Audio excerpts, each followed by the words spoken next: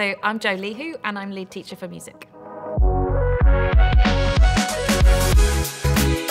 There are five areas of study. The first one is My Music, where students study their own instrument, and singing is an instrument. Um, and you look at lots of different techniques with your instrument and getting better as a performer and a composer and an improviser on your instrument. Then the second area of study is Concerto Through Time, where the students study the music from the Baroque period back in the 1600s through to the Romantic era, era at the end of the 1900s. And you study lots of different um, kind of music theory concepts through that time and also lots of different musical forms and structures and composers and all the stuff that people think is real music. And then the next area of study is rhythms of the world, where you study lots of different cultures. So we look at Indian classical music, we look at uh, Middle Eastern music and African music and the music of Java and Bali and the gamelan. So lots and lots of different musical cultures and all the things that make up those different musical cultures and where it comes from and how that then influences the music that you can relate to.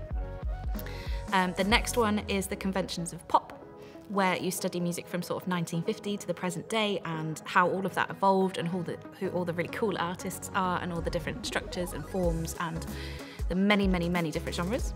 And the last one is film and game music, where you study all the different devices and techniques uh, you need to be able to compose and create film and game music.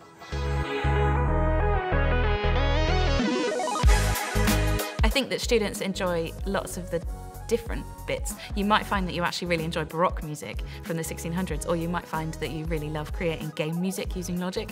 So there's something in it for everyone. So the first thing is that you learn a lot more about yourself, about you as a performer, as a composer, as, um, a, as a person who is able to tackle challenges. Um, but you will get used to your instrument a lot, lot more, including singing, if that is your instrument, because you'll be using it almost every lesson. Um, and importantly, you get to work as a team quite a lot, and you'll be very good at evaluating and analysing things that you hear. But most importantly, you'll become a really, really good listener.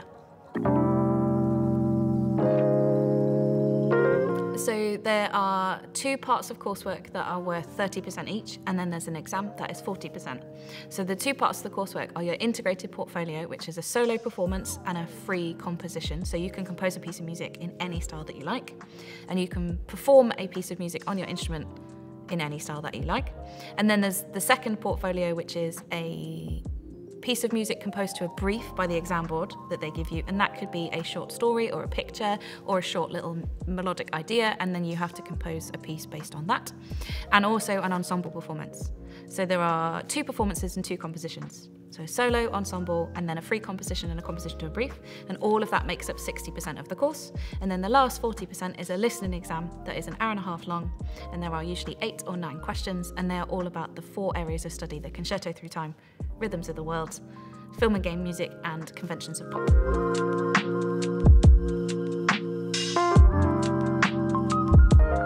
So studying music does open up lots and lots of different options. You could go to college and study an A-level music or a vocational level three course, um, and those options are performance or composition or production based, so you can take any pathway um, that you prefer. So if you like working on Logic, then there's a production course for you.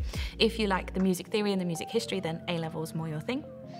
Um, or you can choose to maybe go into um, a more specialised college, like maybe the Academy of Music and Sound in Exeter or other, other colleges are available. And those colleges spe uh, specifically focus more on your performance or your um, pop business. So there are very specialised colleges that you could go to post 16 if like music is the thing you really want to do or you could maybe go into an apprenticeship and work um, as a, a, sound engineer or as a, a, radio presenter or those sorts of things um, and if you'd like help looking for those then, then let us know uh, so beyond college, you could go to university to do a degree in music or popular music or music performance or music composition or musicology, which is the theory of music.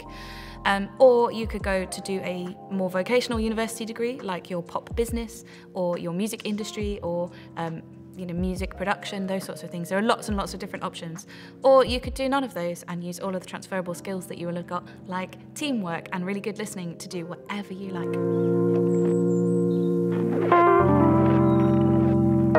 Our department's really well resourced. We have our music tech suite of Mac computers, which have got Logic and GarageBand on them, um, and they have the ability to record audio using the microphone. So if you wanted to record your singing or your instrument, we have the recording studio to make sure your performances sound really great.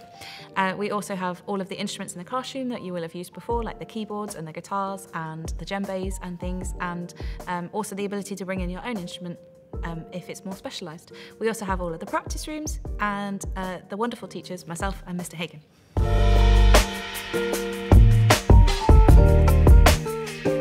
Question we get asked most often is, does a student need to have a grade or a level in the instrument or singing that they want to do to be able to do this course? And the answer is no.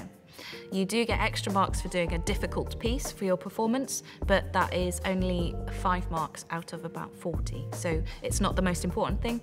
Um, and if you want to learn an instrument, then this is the course for you because we can help you with that.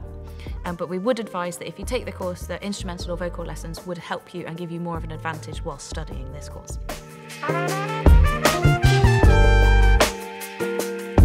It opens your eyes to things that you wouldn't have experienced before and also makes sure you're aware of all the concepts and things you're going to need in order to make you the best musician moving forward and leaving Uffculme.